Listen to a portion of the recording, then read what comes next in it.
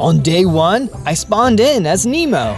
I'm so small, I better be careful. I also noticed I only had three hearts. This was going to be really difficult. Nemo! I looked behind me and saw my dad, Marlin. He was swimming out of a small cave towards me. You need to get inside. It's not safe. I hurried inside just as a scuba diver appeared. He took his net and snatched my dad. Dad! I tried to swim toward him, but he yelled back at me. No, stay inside. I'll be okay, I promise. The scuba diver swam away, leaving me all alone. I felt really sad, but it was getting dark. I needed to stay safe in the cave and wait until morning to go looking for my dad. On day two, I woke up to the sun shining into the cave. I looked around. Dad? Then I remembered what had happened to him. I got really sad again. I'll find you, Dad. I promise. I swam out of the cave to find materials to build some weapons. I managed to make a crafting table, which helped me to craft a pickaxe and sword. Now I feel more ready if that scuba diver comes back. I continued swimming in the reef and discovered that there weren't a lot of other fish around. Hey, get down here. I looked down and saw a shrimp waving at me. I swam down to him. What do you think you are doing? The reef isn't safe, especially closer to the surface. Not since the human has been coming around. Yeah, I saw him yesterday. He trapped my dad. I'm sorry. Do you have anyone else to look out for you? No, I'm alone. I could tell the shrimp felt bad for me. He scurried back into his hole and returned with some kelp. Here, take this. You need it more than me. Thank you! I swam carefully back to my cave with the food. I'm going to protect everyone. They all seem too scared, and someone needs to stick up for them. I arrived at my cave, a plan starting to form in my mind. On day three, I gathered some more sand and even managed to find some gravel. I started to make a little base for myself around my cave. I wanted to make a dome so that the humans couldn't get in. I got part of the foundation done, but I needed to do some other things to get the dome figured out. All of a sudden, I was smacked from behind. I looked and noticed an eel. Hey, get away! I used my new weapon to smack him back. He got me down to one heart, but I finally managed to defeat him. You messed with the wrong fish. I felt my strength grow, and I leveled up into a larger fish. Hey, I have six hearts now. Neat. I also noticed that I could swim faster since my fins were bigger. I decided to call it a day. I was beat. On days four to five, I gathered some more materials to build the base. I managed to build a furnace and smelted some sand to make some glass for the dome. I was swimming around when I noticed some bigger fish trying to trap some colorful fish. I swam up to attack the large fish. Hey, get away from them! The colorful fish scattered and the large fish attacked. I managed to get a bunch of hits in and managed to defeat all the fish. Hey! I looked down and saw a fish lying on a rock. It was one of the ones I had hit with my sword. I guess he had tried to swim away. I swam down to him. What were you doing to those fish? We work for the scuba diver. He guarantees us food if we help him capture fish. That's awful. It's life. We need food to live. He tried to smack me again, but I managed to get a hit in. He yelled, and then he disappeared. How sad. How could he betray his own kind? I swam back to the base, contemplating what I had just heard. On days 6 to 8, I crafted some more glass for the dome. It was starting to look really awesome. I also used some of the materials to make myself a better sword and tools. If that scuba diver comes, I'll be ready for him. I went venturing out, being careful to avoid the surface. I came across a large mound of sand and began to gather it when I was hit by something. I turned and saw a jellyfish. He was ready to strike again. Nobody wants you here. I smacked him, and before I knew it, he was gone. That was super easy with my new sword. I was feeling good. The reef was just a little safer already. On days 9 to 10, I went venturing a little further. I managed to gather some more supplies when suddenly I heard some screaming. I swam toward the sound and saw a blue fish being grabbed by the scuba diver. Leave her alone! I drew my sword and managed to hit the scuba diver's hand. He let go of the blue fish, who swam away. If I can't have her, then I'll have you. The scuba diver grabbed at me and almost managed to get me. I was fast, but he was faster. I swam away, knowing that it was my only chance to get out of this situation. I hid inside the cavity of a rock. The scuba diver retreated, and I let out some bubbles in relief. That was close. I didn't realize that the bluefish had swam into the same cavity in the rock as me. I swam out in surprise. Thanks for saving me. I don't know what I would have done without you. Of course, I'm here to try to protect the reef. I invited the bluefish back to the base where it would be safe for her. She happily agreed. I'm Dory, by the way. Nice to meet you. On days 11 to 12, I helped Dory to make a little home for herself. She seemed to really like it and even said it reminded her of her old home. Where is your home? Actually, I don't remember. She was an odd one, but I liked her. I went out to gather some better materials in a nearby cave, but then a group of eels attacked me. Ah, get away from me! They were too strong, so I went to a different cave. I was swimming around for a while, but then I saw some iron. That's exactly what I need. I mined out as much as I could before heading back to the base. I made myself an iron sword, pickaxe, and some armor. This'll show 'em. I went back to the cave with the eels and I attacked. In no time, they were all gone. Take that! I went into the cave and sure enough, there was more iron. Cool, this'll set me up for a while. I went back to the base and made some more tools. With those, I made some minor improvements to the base. It was starting to look really good. On days 13 to 15, I went out to learn more about this scuba diver. I needed to find my dad and all the other fish he was taking. I swam around the reef to gather more information. More fish were out today, but not a lot. Hey, do you know where the scuba diver is taking the fish he's capturing?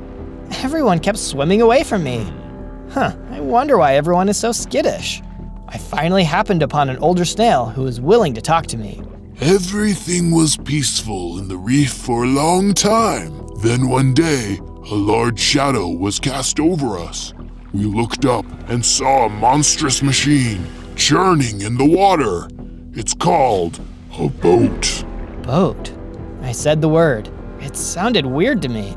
The scuba diver can't stay underwater like us, so he drives the boat. At first, he was just here to take pictures. Then one day, he started snatching fish in bags, or even shooting them with his harpoon. He is a bad man. I was grateful that someone was willing to talk to me, but now I was terrified. The scuba diver sounded really strong and capable. I was just a little fish. What could I do? On days 16 to 19, I woke up and couldn't find Dory anywhere. I hope she didn't swim off on her own. I went outside the base and saw Jacques waving at me again. You better hurry. The octopus just took your friend. Dory? Yes, she was swimming up near the surface and singing to herself. An octopus came by and grabbed her before she even knew what was happening. Jacques pointed me in the direction of the octopus lair, and I took off. The octopus lair was more of a sandy hill covered with seaweed, but it was something. I hurried and swam inside to save my friend. Hey, it's you! I looked and saw Dory. She was with another fish who looked pretty beaten up. Watch out! I turned and saw the octopus try to attack me. I hurried and drew my sword before he could get a hit in. He tried to maneuver around me, but I was able to get some really good hits in. Before I knew it, he was gone. Just then, I leveled up into an even stronger clownfish. I felt my fins grow and I swam around to test them out. I was super fast now. I could create a wall of bubbles. I'm so happy you found me. Also, this is Gil. The other fish swam up to me. Thank you for saving my life. That was really impressive. Thanks. I am happy to protect the fish in the reef. We need it more than ever, especially with the scuba diver around. Are you gonna fight him? I'm not sure. He's so strong and way bigger than me. I know of an item that could help. It was lost in the sea a long time ago, but it might be the answer to your problem. That was the best news I had gotten all day. Maybe there was a way to fight the scuba diver after all. I want to hear all about it, but you should stay at our base. It'll be safer there. Gil happily agreed to come with us, and we headed back to our home. On days 20 to 22, we arrived back at the base, but it was being attacked by skeletons? Ah, gross! I went at them with my sword and fought them off easily. They all dropped a bunch of bones. Maybe they would come in handy later. I was happy that Gil was staying with us too, but I wanted everyone to know that this was a safe place to stay. A statue would be a good idea. I came up with an idea, but I needed to gather some supplies first. I gathered a lot of kelp and even managed to find some sea cucumbers. Perfect! I knew I needed more for later, so I planted a few and then used the bones from the skeletons to make some bone meal. I fed the bone meal to the sea cucumbers. I won't be running out of those anytime soon. I went to work on the base of the statue. Can you tell what it's going to be? And if you like swimming along on our adventures, be sure to watch more of my videos by searching for Zozo. That's Z-O-Z-O. And subscribe too, since we sure would love to see you around here more often. On days 23 to 26, some skeletons attacked again. I wasn't too nervous though, they were easy to defeat. They dropped more bones, but I noticed that another one dropped some sea lanterns. This would be perfect to make the dome more bright. They were looking really good. I started to place them around the base and inside the dome. It was looking brighter already. I was outside looking for some more materials when a yellow fish swam up to me. Hello! Someone told me that this is a safe place to stay. My family was taken by the scuba diver, and I don't have a home to go back to. I knew exactly how this fish felt. Please, come in. You are more than welcome to stay here. The fish told me his name was Bubbles as we went inside. I started on making some better houses for Bubbles and Gil. They weren't anything fancy, but they were safe. I made sure to smelt some more glass so that we could expand the dome out. It was looking really great. On days 27 to 31, I went to chat with Gil. I wanted to know more about the item he had told me about earlier. My grandfather told me about an old wise turtle that was a protector of the reef a long time ago. But like now, humans kept invading, stealing fish away, and polluting the ocean. The turtle decided to go to Poseidon to bargain for an item that would protect them. In return, he crafted the turtle a special trident. Poseidon? No way! I know, right? Anyway, the old turtle takes this special trident but Poseidon says it will only work for those who have pure intentions to protect the creatures of the sea. Makes sense. It gave the turtle the ability to call the lightning down and control the water. Wow! But the best part was the last gift it granted to the wielder the ability to walk on land like a human if needed. That's amazing! So, where is the trident now? That's the tricky part. After the turtle passed on, so many fish and creatures wanted the trident for themselves. They fought over it. Because of their greed, it was broken into three pieces and scattered across the ocean. There are rumors as to where they are, but nobody has been able to find all of them. This was a lot to take in. My grandfather told me he had heard of one that was guarded by a shark near a shipwreck. It wasn't a lot to go on, but it was a start. I started out toward the shipwreck that Gil was talking about, though I was a little nervous about the shark. As I approached, I didn't see any shark. Then he came out from behind the hull of the ship. He's pretty big. I was nervous, but I knew I had a job to do, so I charged at the shark and attacked. He was taken aback and tried to get a hit in.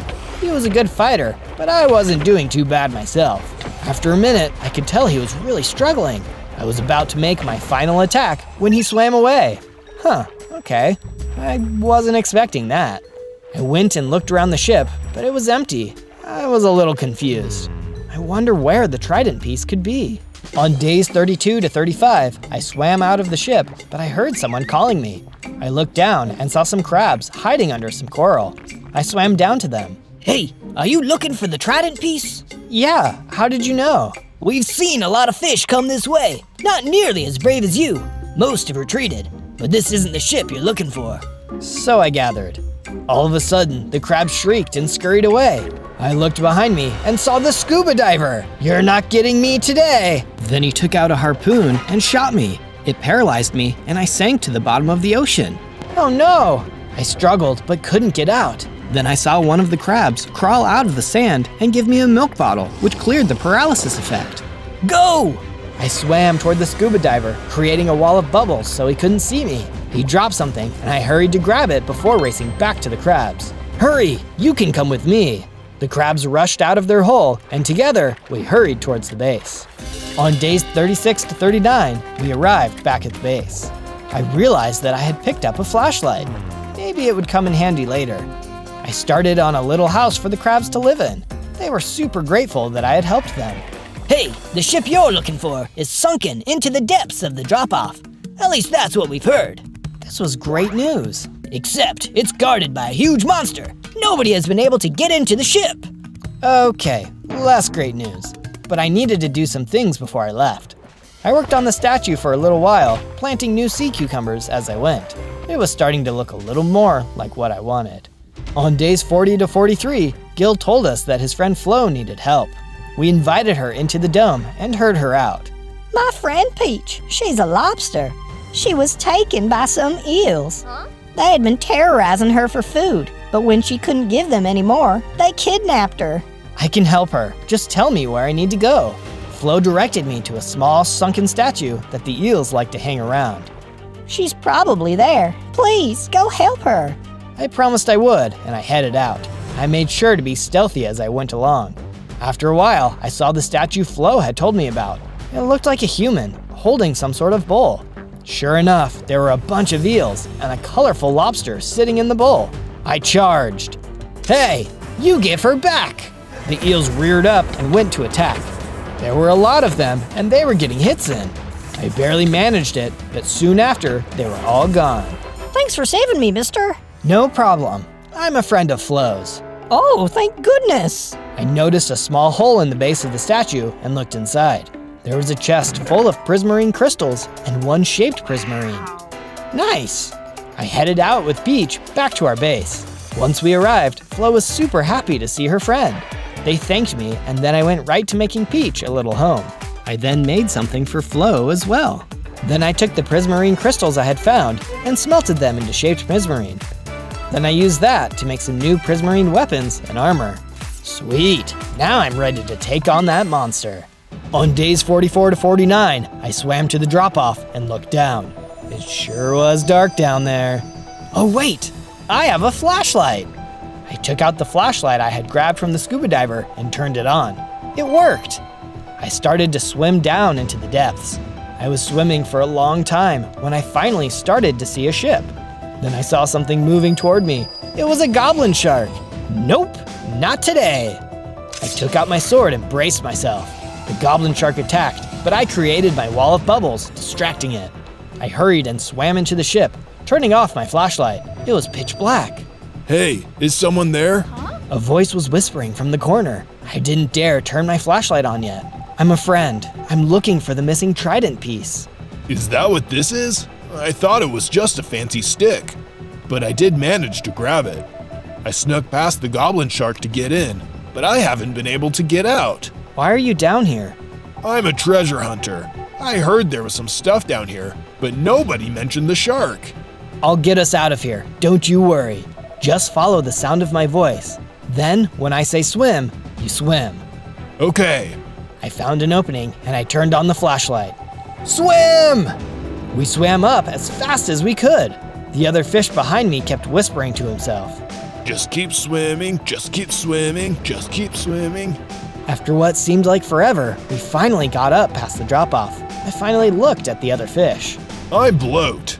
He was a pufferfish, and he seemed really tired. He was also holding what I assumed was part of the trident. Here, take this. I don't want it. He gave me the pole piece, and I studied it. It looked like it had carvings on it. Hey, thanks for saving me, by the way. That was gnarly.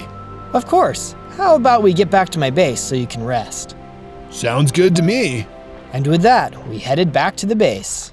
On days 50 to 53, I helped Bloat get comfortable at the base, and then I headed back out to look for some more pieces of the trident. Someone had to know something. On my way out and about, I saw a huge crater in the sea bottom. There were sharks swimming all around, including the one from the first shipwreck I had gone to. It looked like they had someone trapped in a cage of some sort. Hey, you let them go! I raced down with my improved swimming abilities and attacked the first shark.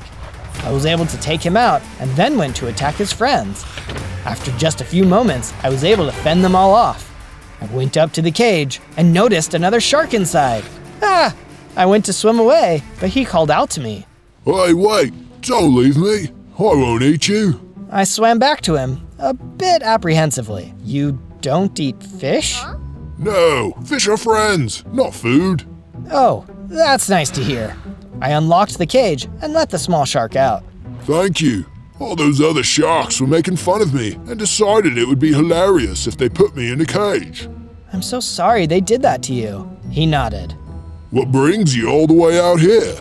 I told him all about the scuba diver and the legendary trident I was trying to put together again. I showed him part of the trident I had. The shark got excited. Say, I have something that looks like that. The shark, whose name I learned was Bruce, swam a little further into the crater. There was a little alcove that held a small chest. I opened it, and sure enough, there was a piece of the trident. Whoa, thanks! No problem. The sharks found that here, but they figured it was some sort of fancy stick. But we kept it anyway. I tried to put the pieces together, but nothing happened. I would probably need all of the pieces before it would meld back together. I invited Bruce back to the base. We might need to expand it a little bit, since you are bigger than most of the other fish living there. I'll be sure to help out. We headed back to the base, ready to make some big renovations. On days 54 to 57, Bruce and I arrived back at the base. At first, everyone was a little scared of Bruce, but after a while, they all started to warm up to him. They even helped me make some improvements for him. We built another dome attached to the main dome. This way, people could have more space for themselves. I also made myself a little chest to store the trident pieces in. I didn't want to carry them all the time and risk someone stealing them from me while I was outside the dome. I was about to make some more improvements to the base when Dory swam right up next to me. Hello, could I get your help with something? Sure, Dory. What is it? Oh, I just forgot. She swam away for a little bit, then came back a moment later. I remember. Could you help me find some purple shells? Purple shells? Yes, it's very important. It was an odd request, but I decided to help her. We ventured out together and found a dozen or so shells in varying sizes. We went back to the base, and I gave Dory the shells I had found. What are they for? You'll see. She left for a while, and I thought she had completely forgotten about the shells. It wasn't until later that she swam back up to me. I have something for you. She held out a necklace made of some purple shells. Oh wow, thanks, Dory. I put it on. I actually felt happier. You're a good friend. Dory hugged me and then swam away. What a cute friend. On days 58 to 62, I gathered some more supplies for the statue. Flo and Gil even helped me with gathering and building some parts of it. It was looking really nice. We were heading back inside the dome when we noticed that there were some of the scuba divers' minion fish attacking the base. Get away, you traitors! I smacked them with my sword. I swam around and noticed that everyone was there except Bloat. I looked in his house and noticed a note. It was from the scuba diver telling him to look for the legendary item at the ship and to infiltrate my base. Oh. Bloat was a traitor! I hurried and went to the chest near my cave, and just as I had suspected, the trident pieces were gone. I went back to the base and told everyone that Bloat stole the trident pieces. Everyone saw how upset I was and started to all talk at the same time. It was a little too much for me, so I went into my cave to think. What am I going to do now? I looked at Bloat's note again and noticed something on the back. There was a map with a location circled. This must be where he's going next. I've got to stop him before it's too late. On days 63 to 66, I traveled to the location on the map. It was a rock formation with all kinds of coral growing on it. Then a fish emerged from the coral. He had blended right in. Get away from here. We don't want any more trouble. He tried to bat at me with his fins, but I backed up. Trouble? I'm here to stop all the trouble. The fish looked at me again. I'm looking for the third trident piece. I was led here with a map. Do you know where it is? Yeah, I do. But some other fish came by a little while ago asking the same question. In fact, some of them said they would be back. Just then, I saw the minion fish swimming up to us. I drew my sword. Stop bothering these innocent fish! I charged and attacked. Before long, they were all gone. That was impressive. I swam back to the camouflage fish. Here, I think you need this after that fight. He handed me a burger and said it was a Krabby Patty, whatever that was. Thanks. So, can you tell me where the trident piece is? It's hiding in the lair of the large glow squid. It's basically impossible to get to, but that pufferfish and his goons might have a chance. That must have been bloat. The fish told me exactly where the lair was, and I swam as fast as my fins would go. On days 67 to 70, I made it to the lair of the large glow squid. It was an old underwater temple. Outside of it were some minion fish. They looked like they were guarding it. Then I saw Bloat and a few more minion fish emerge from the large cave. I charged at them. You traitor! I thought you were my friend! Bloat saw me and got scared. He tried to hide behind the minion fish, but I easily took a few of them out. Bloat tried to swim away, but I smacked him with my sword. He looked at me angrily, and then he puffed up. I felt a sharp pain in my side, and then I blacked out. On days 71 to 74, I woke up. I felt really sick, and there was a pain in my side. I looked and saw one of Bloat's needles lodged in between my stripes. I pulled it out and groaned. Ouch! I knew I needed to check the lair, so I swam down and saw an alcove with a chest. It was empty. Bloat must have gotten the item before I blacked out. I didn't have much strength, so I ate some kelp. I felt so sick and knew I needed to get back to the base to rest up. I made the long journey home, wondering what my next move would be. On days 75 to 78, I made it back to the base and rested for a little while. Once I was feeling more like myself, I made some improvements to the base. I added to the domes and made some lights. I also started on a new dome in case we had more fish arrive. I was about to clean out Bloat's little alcove when I heard a weird noise outside the dome. I went out to see, and it was Bloat! What are you doing here? I was trying to sneak back in to get some of my things. Get out of my way. You traitor, you aren't welcome here! I lunged at Bloat, making a wall of bubbles to distract him. Then I slashed at him with my sword. I wasn't going to let him knock me out again. He was very disoriented, and before long, I took him out. Then, just like before, I felt my strength surge and I leveled up into an adult clownfish. I now had 15 hearts. Yeah, I'm unstoppable! I looked up and noticed that Bloat had dropped something. I was hoping that it was part of the trident, but it looked like a paper. Hmm. He must have already given the trident pieces to the scuba diver. I looked closer at the paper and realized it was a map of where the scuba diver docked his boat. It looked like it was on a schedule and switched every couple of days. This is good information. I also checked out Bloat's alcove, and sure enough, I found some good stuff, like refined prismarine ingots and some healing potions. This is just what I need. I felt bad about Bloat, but ultimately, he had made his choice. Hopefully now, it would be easier to defeat the scuba diver. On days 79 to 84, I traveled to the next location where the scuba diver's boat was supposed to be. I looked around the seaweed field and there was no boat. Huh, I wonder where it could be. I waited it out for a little while, but then I noticed a little movement in the seaweed. I drew my sword in preparation, but then a little sea turtle popped out. Whoa, don't hurt me! I'm not going to hurt you. I'm looking for the boat that's supposed to be here right now. Oh, yeah, that usually leaves here in the early morning, so you're late. Okay, well, I guess I should go track him down. Wait, could you help me first? Something fell out of the boat when the scuba diver left. I've been tracking him ever since he stole my dad. I think that it might be important. I felt sorry for this little guy.